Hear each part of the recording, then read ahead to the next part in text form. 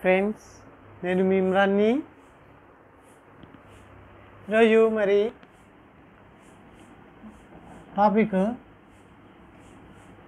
సైకాలజీలో మనము ఇంతకుముందు అభ్యాసన సిద్ధాంతాల గురించి మాట్లాడుకున్నాము.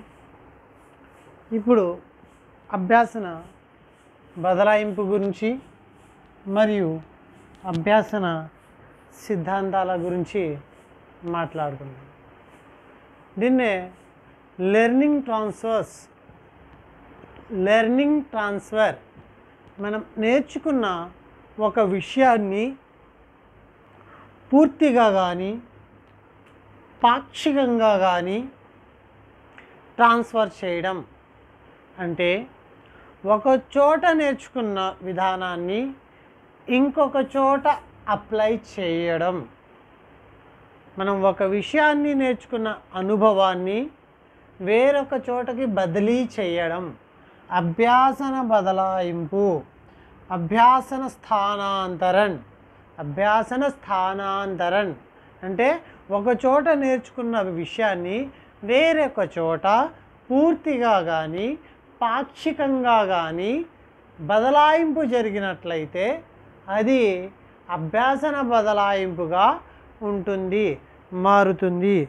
అయితే ఈ అభ్యాసన బదలాయింపు అనేది కొన్ని చోట్ల పాజిటివ్గా ఉంటుంది కొన్ని చోట్ల నెగిటివ్గా ఉంటుంది. రైట్ లైక్ చూడండి. మనము మనం నేర్చుకున్న విషయాలని బేస్ చేసుకుని ఇప్పుడు ఫర్ ఎగ్జాంపుల్ మనం సైకిల్ నేర్చుకున్నాము. సైకిల్ నేర్చుకున్న తర్వాత సైకిల్ మీద అటు ఇటు బ్యాలెన్స్ చేయడం బాగా కుదురుతుంది.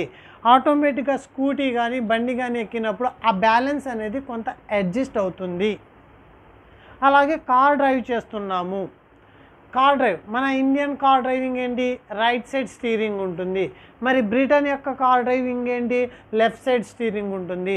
మరి రైట్ సైడ్ కూర్చుని మన లెఫ్ట్ సైడ్ మార్జిన్ అలవాటుతో లెఫ్ట్ సైడ్ కూర్చుని అదే మార్జిన్ అలవాటు చేస్తే అలాగే డ్రైవ్ చేస్తే ఎస్ డెఫినెట్లీ యాక్సిడెంట్స్ అనేవి అవుతాయి. సో ఇలాగా సైకిల్ విషయానికి వస్తే పాజిటివ్ అయింది. మరి కార్ డ్రైవింగ్ రివర్స్ స్టీరింగ్ విషయానికి వచ్చేసరికి ఏమైందండి? కన్ఫ్యూజ్ అయిపోయి యాక్సిడెంట్లు అవుతాం నెగిటివ్ అవుతుంది. అలాగే చూడండి షటిల్ ఆడుతూ ఉంటాము. షటిల్ని ఫోర్స్ తోటి కాకిని బాగా ఫోర్స్ తోటి కొడతాము. అవునా? మరి అదే రకంగా బాల్ బ్యాడ్మింటన్ ఉంటుంది బాల్ బ్యాడ్మింటన్ అండి. అంటే ఊల్ బాల్ ఉంటుందండి. ఊల్ బాల్ని చెక్క బ్యాట్తో ఆడుతూ ఉంటాము. అది కూడా షటిల్ బ్యాట్ లాగానే ఉంటుంది. దాన్ని జస్ట్ ప్లేస్మెంట్కి ఫోర్స్ చూపించకుండా మన ప్లేస్మెంట్ మాత్రమే దాంతో బాల్ బ్యాడ్మింటన్ని ఆడుకోవాల్సి ఉంటుందండి. ఏమాత్రం షటిల్ ఆడినట్టుగా ఫోర్స్తో ఆడామా? అది వెళ్ళి ఏమవుతుందండి ఎక్కడో ఊరు చివర పడుతుందండి. సో ఇలాగా కొన్ని విషయాలేమో పాజిటివ్ జరుగుతాయి కొన్ని విషయాలేమో నెగిటివ్ జరుగుతాయి. కొన్ని విషయాలు ఉంటాయండి. వాలీబాల్ నేర్చుకున్నవాడు ఫుట్బాల్ ఆడతాడు. దానికి దీనికి సంబంధం లేదు. సో అలాగా గట్టిని అది ఇది స్థానాంతరం ఎక్కడ జరగలేదు. మరి కొన్ని విషయాలు ఉంటాయండి. ఒక పార్ట్ తోటి చేసేది రెండో పార్ట్ తోటి కూడా చేస్తాము. లైక్ రైట్ హ్యాండ్ తోటి రాస్తారు. కొంతమంది రైట్ హ్యాండ్ తోటి రాస్తూ రై రైట్ లెగ్ తోటి కూడా డ్రాయింగ్ చేస్తారు రైట్ హ్యాండ్ తోటి కూడా డ్రాయింగ్ చేస్తారు. కొంతమంది రైట్ హ్యాండ్ తోటి రాస్తారు లెఫ్ట్ హ్యాండ్ తోటి కూడా రాసేస్తారు. సో ఈ రకంగా మరి అభ్యాసన బదలాయింపు అనేది జరుగుతుంది. మరి వీటి యొక్క టైప్స్ ఏంటి? ఫర్ ఎగ్జాంపుల్ మరి శిక్షా మనోవిజ్ఞానం గురించి మాట్లాడుకుందాం. మనకి శిక్షా మనోవిజ్ఞానంలో శిక్షా మనోవిజ్ఞానంలో అంటే హిందీ సైకాలజీ మనోవిజ్ఞానంలో హిందీ సైకాలజీ బుక్లో ఈ అభ్యాసన స్థానాంతర గురించి కేవలం రెండు మాత్రమే ఇచ్చాడు రెండు భాగాలు మాత్రమే ఇచ్చాడు. అదేంటా అంటే సకారాత్మక సకారాత్మక. రెండోదేంటి? నకారాత్మక స్థానాంతరన్ నకారాత్మక స్థానాంతరన్ సకారాత్మక నకారాత్మక స్థానాంతరణ అని చెప్పి ఇచ్చాడండి. అయితే ఒక చోట నేర్చుకున్న ఒక చోట నేర్చుకున్న అభ్యాసనము అనుభవము. ఇంకొక చోట మనం అప్లై చేసినట్లుగా ఉంటే అది సకారాత్మక స్థానాంతరణ అభ్యాసన బదలాయింపు. అంటే చూడండి అనుకూల అనుకూల అభ్యాసన అభ్యాసన అనుకూల అభ్యాసన బదలాయింపు. అంటే సకారాత్మక సకారాత్మక బదలాయింపు. అలాగే మరి కొన్ని చోట్ల నకారాత్మక అంటే అడ్డం వస్తూ ఉంటుందండి. అంటే అడ్డుపడుతూ ఉంటుంది. చెప్పాను కదా బ్రిటన్ డ్రైవింగ్ ఇక్కడేమో మరి సరే ఎగ్జాంపుల్స్ కూడా చెప్పుకుందాము. కానీ ఈ రెండే ఇవ్వడం అనేది జరిగింది. ఇక్కడేంటి? ప్రతికూల. ఏమంటున్నాము? ప్రతికూల. ప్రతికూల బదలాయింపు. కానీ ఇంకా ఏమున్నాయి అంటే చూడండి. అంటే అకాడమిక్ బుక్లో ఏమున్నాయి అంటే శూన్య బదలాయింపు. శూన్య బదలాయింపు అలాగే ఏకపార్శ్వ బదలాయింపు. ఏకపార్శ్వ బదలాయింపు. అలాగే ద్విపార్శ్వ బదలాయింపు. ఇవి బీడీ అకాడమిక్ టెస్ట్లో మాత్రమే ఉన్నాయండి. మన హిందీ శిక్షా మనోవిజ్ఞానంలో లేవు. ఇవి రెండే మాత్రమే ఉన్నాయి. మరి నాకు వచ్చిన అనుభవం ఫస్ట్ ఎట్లోనే ఫుట్బాల్ ఆడిన వ్యక్తి మరి వాలీబాల్ ఆడడంలో ఏదైనా ఏ రకమైన బదలాయింపు జరిగింది అన్నాడు. నేను చదివింది ఏంటి? సకారాత్మక చ- చదివాను నకారాత్మక చదివాను. ఫుట్బాల్ వాలీబాల్ అసలు సంబంధం లేదుగా అసలు ఆ స్థానాంతరాన్ని జరగట్లేదు కదా అనే ఆలోచనలో నేను పడ్డాను. కానీ యాక్చువల్గా ఏంటి అంటే ఇవి కూడా ఉన్నాయన్న సంగతి తర్వాత తెలుగు అకాడమిక్ చూస్తే తెలిసిందండి. కాబట్టి అనుకూల అంటే ఒక విషయం చూడండి. ఒక స్థితిలో జరిగిన అభ్యాసం మరొక స్థితిలో ఉపయోగపడ్డం తోడ్పడ్డం. రైట్. ఉదాహరణకు చూడండి ఇలాగే అడుగుతాడు. కూడికలు తీసివేతలు నేర్చుకున్న పిల్లవాడు గుణకారము భాగారం నేర్చుకోవడంలో ఉపయోగకరం. అంటే అవును. మల్టిప్లై అలాగే డివైడెడ్ బై నేర్చుకోవడానికి ప్లస్ మైనస్ ఉపయోగపడుతుందా లేదా? కాబట్టి అది సకారాత్మక. అంటే అనుకూల బదలాయింపు. బట్ అనే విద్యార్థి బట్ని నేర్చుకున్న విద్యార్థి కట్ని కట్టగా చదివాడు. అంటే బియూటీ బట్ అని చ- చదవాలి. చదవడం నేర్చుకున్నాడు. సియూటీ చూడంగానే కట్ అన్నాడు. హెల్ప్ అయింది కదా. బట్ చదవడం వల్ల కట్ చదివాడు. హెల్ప్ అయింది కదా. సో అనుకూల బదలాయింపు సకారాత్మక బదలాయింపు. సైకిల్ నేర్చుకున్న పిల్లవాడు స్కూటర్ నేర్చుకోవడానికి చక్కగా బ్యాలెన్స్ మెయింటైన్ చేశాడు. సో ప్లస్ అయింది. అనుకూల బదలాయింపు. మరి ప్రతికూల బదలాయింపు అంటే ఏంటి? చూడండి. ఒక స్థితి ఒక స్థితిలో జరిగిన అభ్యాసం మరొక స్థితిలో జరిగే అభ్యాసనాన్ని ఆటంకపరచడం అంటే డిస్టర్బ్ చేయడం. లైక్ మనం చెప్పుకున్నాం. చూడండి ఇక్కడ కొన్ని ఎగ్జాంపుల్స్.